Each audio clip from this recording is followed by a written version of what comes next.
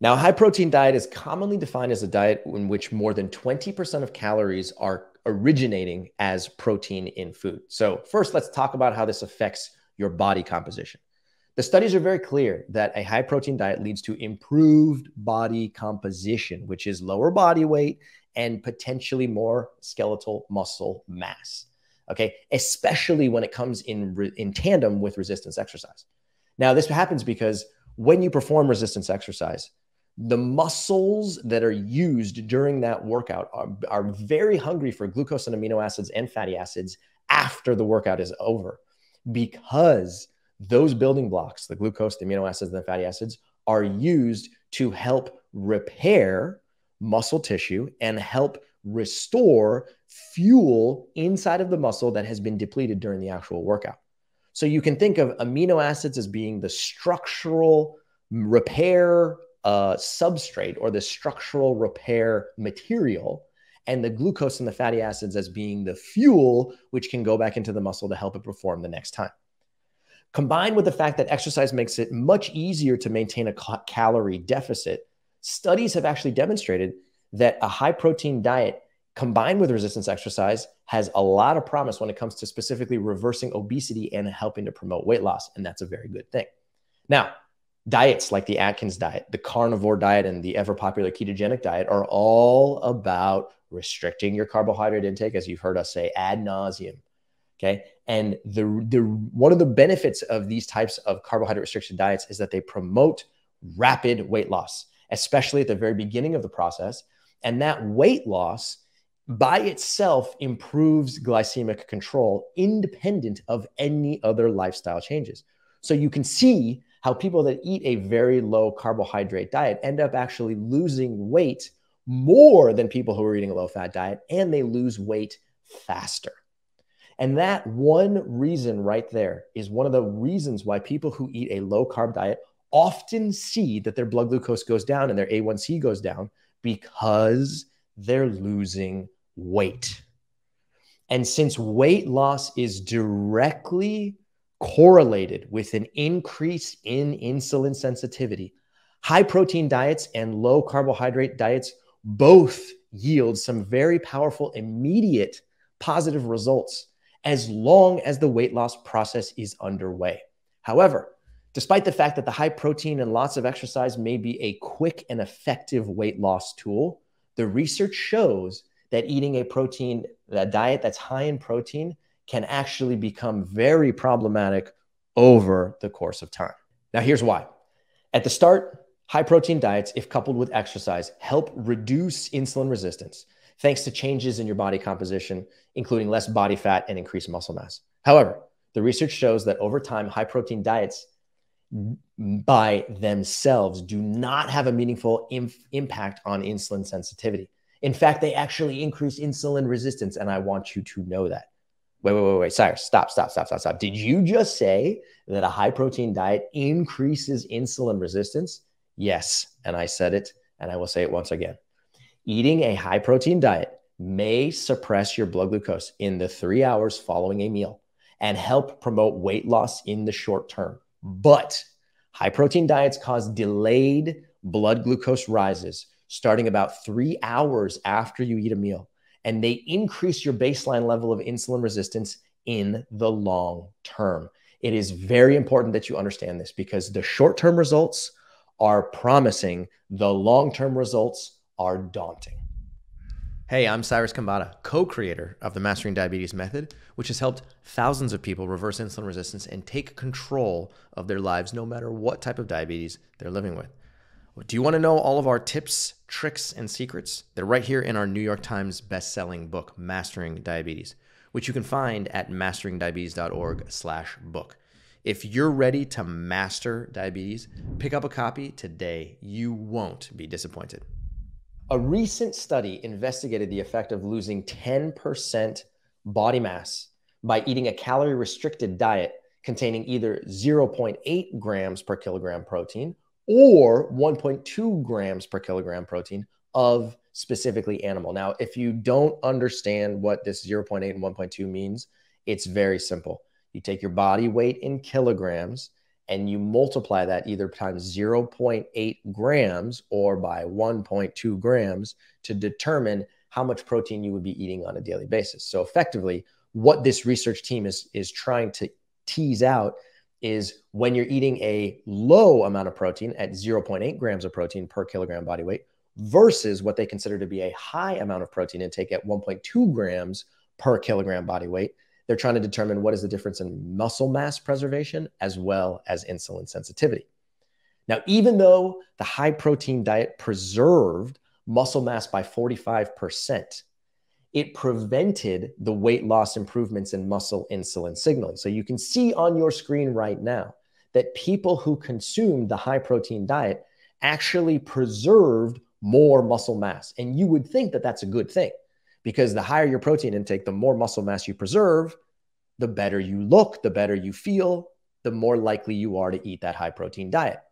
However, if you take a look at what happened to their insulin sensitivity, what you'll find is that only the subjects who ate the low protein diet increased insulin sensitivity, but the subjects who ate the high protein diet did not. And this is very important because, again, weight loss is supposed to stimulate increased insulin sensitivity. It is a normal biochemical response to weight loss. And that's one of the benefits of losing weight in particular. So if you're losing weight, but you're not gaining insulin sensitivity, then you're doing something that's actually impeding the weight loss process. And you're doing something that's actually likely not, that goes against your biochemical design. Now, in addition to these modest changes in insulin signaling that occur during weight loss, studies are also demonstrating that diets that are high in protein cause what's referred to as late onset postprandial hyperglycemia and late onset postprandial hyperinsulinemia starting approximately three hours after eating a single meal. What the heck does this mean? These are big words.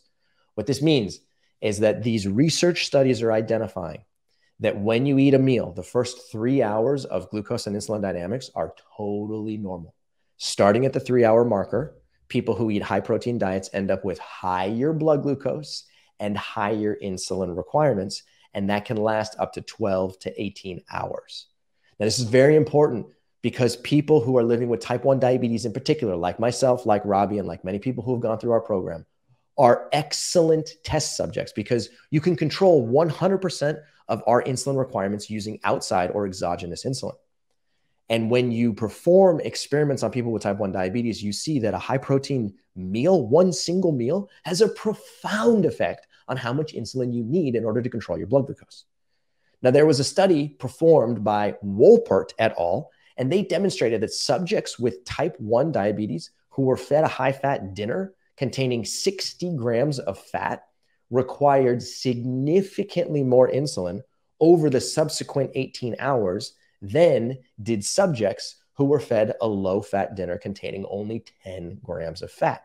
So, again, a higher fat intake delays glucose absorption and minimizes improvements in insulin sensitivity, actually causing insulin resistance. The high fat dinner actually caused more hyperglycemia or higher blood glucose values than a low fat dinner, despite increased insulin administration. So, as you can see on the screen, the paper that I'm talking about is demonstrated here. If you take a look at the way that this study was designed, you'll see that in order to come to this conclusion, the researchers performed what's called a crossover design, where subjects were, were put into both tracks. Track number one is where they were fed a high fat dinner and then monitored for the next 18 hours. And then they were fed a low fat dinner and monitored for another 18 hours. Track number two is where they were first fed the low fat dinner and then monitored for 18 hours, followed by a high fat dinner and monitored for another 18 hours. So, in essence, the two tracks either went high fat, low fat, or low fat, high fat. And by doing this, you can you can put subjects through both tracks and figure out how their blood glucose control differs depending on whether they're in track 1 or track 2. And what you'll find is that when subjects were fed a high fat dinner, the dinner that contained 60 grams of fat required a significantly larger amount of insulin over the subsequent 18 hours than did the subjects who were fed a low fat dinner that contained only 10 grams of fat. And in addition, that the increased insulin that these eh, subjects were given still was not enough to prevent high blood glucose. So they tried to give these subjects more insulin to control their blood glucose, but they didn't do a good enough job. So if they were to repeat the experiment, they would have to give them even more insulin to control their blood glucose even more. Long story short, you eat a high protein meal, a single meal that increases your blood glucose values over the course of the next 18 hours, and it increases your insulin requirements significantly. Both of those are counterproductive. Now, there's another study by Patterson et al., and they demonstrated that the addition of 30 grams of fat to a meal that already contains 30 grams of carbohydrate increased the post meal glycemic excursions by 1.8 millimolar in the subsequent five hours in patients living with type 1 diabetes. Now, 1.8 millimolar is approximately 35 nanograms per millimeter in our imperial units. Okay. And similarly, they found that the addition of 40 grams of protein to a 30 gram carbohydrate meal increased postprandial glycemia by 2.4 millimolar, right? Which is approximately 45 points. So if you add 40 grams of protein to a meal that contains 30 grams of carbohydrate, you can expect that your blood glucose will increase by approximately 45 points. Now, they extended this finding even once more. And they said if we were to take 30 grams of fat and 40 grams of protein together and combine it with 30 grams of carbohydrate, what's going to happen? And they found that when they did this, subjects' blood glucose went up even more. And when they did the math and tried to figure out how much came from protein and how much came from from fat, what they determined is that the, the effects of fat and protein are additive. That means that if you eat fat, it'll raise your blood glucose values. If you eat protein, it'll raise your blood glucose values. So therefore, if you eat the two of them together, it'll raise your blood glucose values uh, twice as much because there's a contribution that comes from fat and a contribution that comes from protein, and both of them work to increase your blood glucose. Now, studies that investigate the postprandial or the post meal glycemic responses to these meals containing anywhere from about 30 grams, 28 to 57 grams, so call it 30 to 60 grams of added protein, have demonstrated time after time and after time significantly increased glycemic excursions, meaning worse blood glucose control and higher insulin requirements between two and five hours after the meal is over. And this is where I want to pause for a second because it's very important to understand. On social media, people say, look, I ate this papaya or I ate this banana and my blood glucose went up. Now I added chicken to the meal and now I'm eating chicken and papaya or I'm eating chicken and banana. That sounds like a terrible meal, but you get my point. They're adding some type of meat or some type of protein or some type of fat rich food and they're doing it so that they can suppress their blood glucose. And then they monitor over the course of the next two to three hours and they go, look, my blood glucose control is so much better. All of a sudden I flattened out my blood glucose response and that's a good thing. But what they don't realize is that what the research shows is that, sure, in the first two to three hours, that's totally expected. But what matters is what happens starting at the three hour marker. If they were to follow their blood glucose from the three hour marker into the future, what they're likely to find is that their insulin requirements for the next 12 to 15 hours are actually higher. And they may not be recognizing that because, again, they're wearing their short term goggles and they're not wearing their long term goggles. Now, in subjects with type 1 diabetes in particular, eating more than 75 grams of protein in one meal can delay these postprandial or these post-meal glycemic, you know, high blood glucose values um, between three and five hours. So what that means again is that if you're eating 75 grams of protein in one given meal, which quite honestly is a lot of protein, then you're asking for higher blood glucose. Again, not initially, but starting at between the three and five hour mark. Okay.